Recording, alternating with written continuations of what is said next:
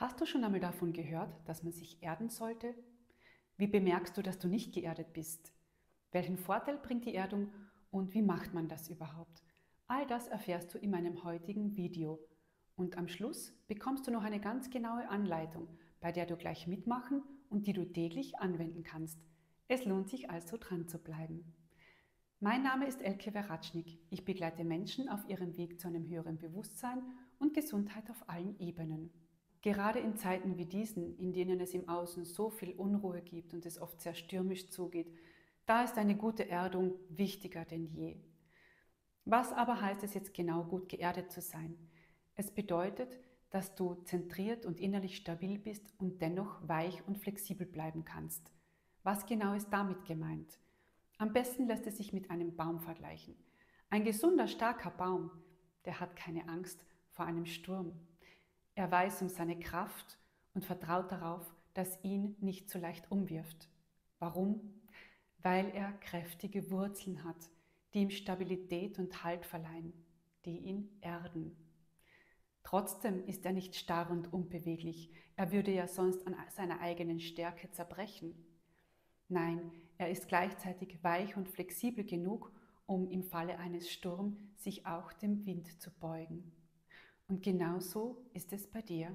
Wenn du gut geerdet bist, dann bist du mit dem gegenwärtigen Augenblick, mit dem Leben verwurzelt.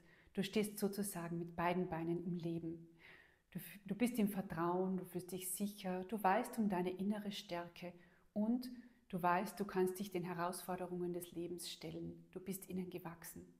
Gleichzeitig bist du aber weich und flexibel genug, um dich auf unvorhersehbare Ereignisse einzustellen, die das Leben nun mal auch mit sich bringt. Eine gute Erdung unterstützt dich also dabei, auf dem Boden der Tatsachen zu bleiben, gute Entscheidungen zu treffen und handlungsfähig zu bleiben. Außerdem wirst du bei der Erdung energetisch gereinigt, indem dein Körper die wohltuende Erdenergie und die Elektronen aus der Erde aufnimmt und gleichzeitig überschüssige emotionale Energie ableitet. Erdung führt nachweislich zu einer Entspannung und Regulierung deines gesamten Systems. Vor allem geistig sehr aktive und spirituelle Menschen neigen dazu, sich zu sehr in den oberen Energiezentren des Körpers aufzuhalten und verlieren so leicht die Bodenhaftung, weil ihnen ein stabiles Fundament fehlt. Was sind nun Anzeichen dafür, dass du nicht gut geerdet bist? Wenn dir eine stabile Erdung fehlt, dann fühlst du dich vielleicht gestresst, bist innerlich unruhig, reizbar, energielos. Du bist geistig oft abwesend, gibst dich einfach gerne den Tagträumen hin. Ähm, du kannst dich sehr schwer konzentrieren. Du kannst, hast vielleicht gute Ideen, kannst sie aber nicht umsetzen. Das heißt, du kannst das Geistige nicht auf die Erde bringen. Du fühlst dich unsicher, hast sehr wenig Selbstbewusstsein Du hast vielleicht vermehrt Kopfschmerzen, das heißt, dass sich die Energie in diesem Bereich staut. Du grübelst viel, das Gedankenkarussell lässt sich einfach nicht stoppen. Vielleicht hast du auch ständig kalte Füße. Du nimmst vieles sehr zu Herzen und du bist überempfindlich und lässt dich einfach leicht aus der Fassung bringen. Möglicherweise hast du auch verstärkt Lust auf Süßes. Auch wenn du deine Spiritualität weiterentwickeln möchtest, wie zum Beispiel einen besseren Zugang zu deiner Intuition oder einen Kontakt zu deinem geistigen Team herstellen möchtest, ist es unerlässlich, gut geerdet zu sein. Denn nur ein Baum mit starken und tiefen Wurzeln hat die Möglichkeit, seine Äste nach oben wachsen zu lassen, ohne umzufallen. Bezogen auf unseren Körper bedeutet das, wir müssen unsere unteren Energiezentren und vor allem das Wurzelchakra stärken. Aber wie macht man das? Es gibt viele Möglichkeiten, wie du dich erden kannst.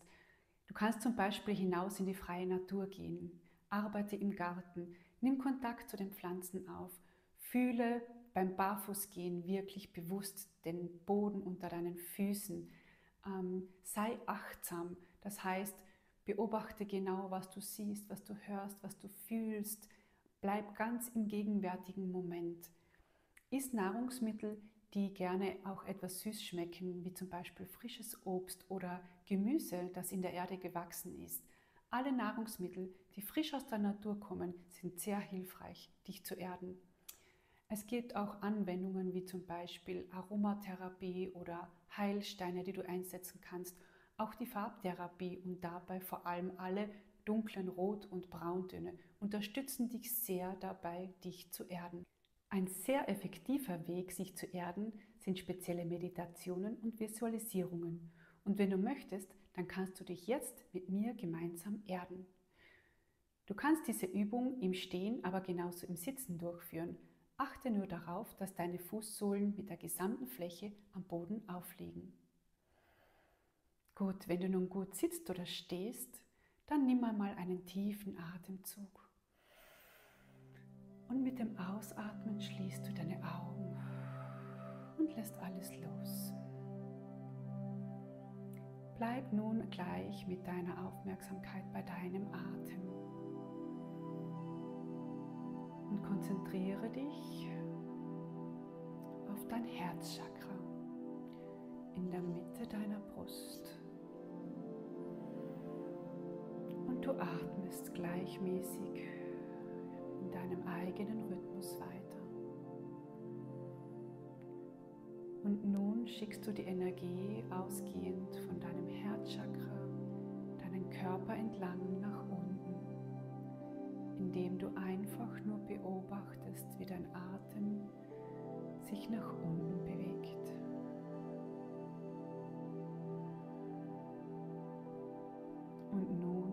stellst du dir vor,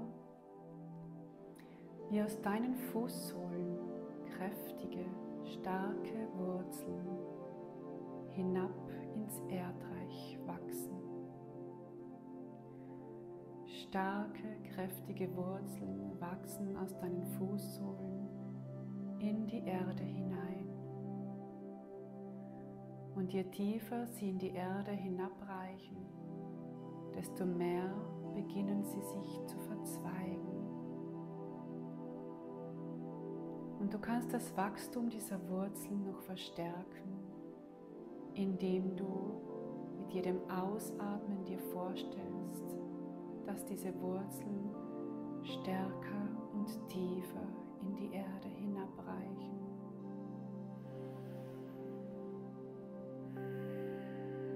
Und vor deinem inneren geistigen Auge wie die Wurzeln sich durch alle Erdschichten hindurcharbeiten und immer tiefer in die Erde hinabreichen. Immer tiefer und tiefer durch alle Erdschichten hindurch. Und nun erreichen sie das Herz von Mutter Erde, den Erdkern. Und deine Wurzeln verbinden sich nun mit dem Kern der Erde. Fühle es und spüre es, wie du nun verbunden bist mit Mutter Erde. Eine stabile, eine starke, eine gütige Verbindung.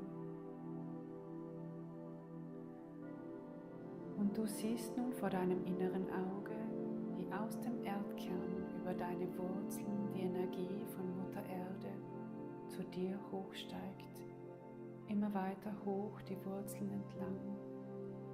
Die er Energie der Erde steigt höher und höher, immer höher und erreicht schließlich deine Fußsohlen. Und über deine Fußsohlen steigt diese Energie höher, über die Knie in deine Oberschenkel bis in deinen Beckenboden, wo dein Wurzelchakra sitzt. Und du lässt die Energie von Mutter Erde nun in diesen Bereich einfließen.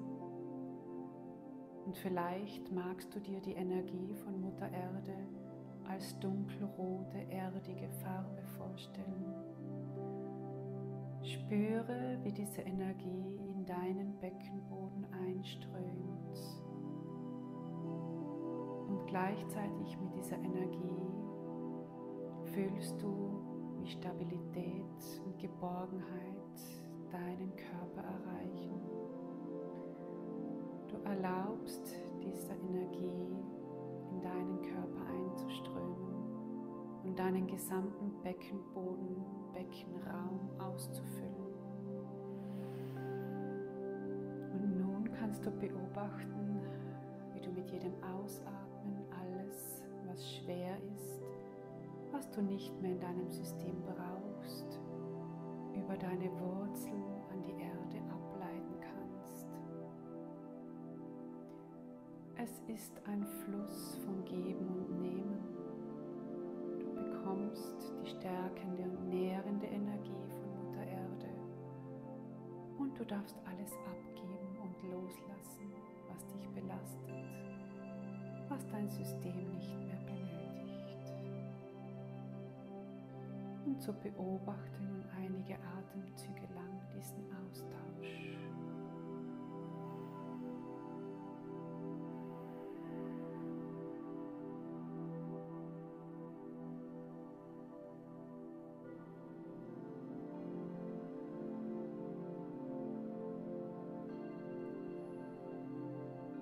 Und wenn du dich nun genährt und gestärkt fühlst, dann bedankst du dich bei Mutter Erde und kommst langsam wieder zurück ins Hier und Jetzt.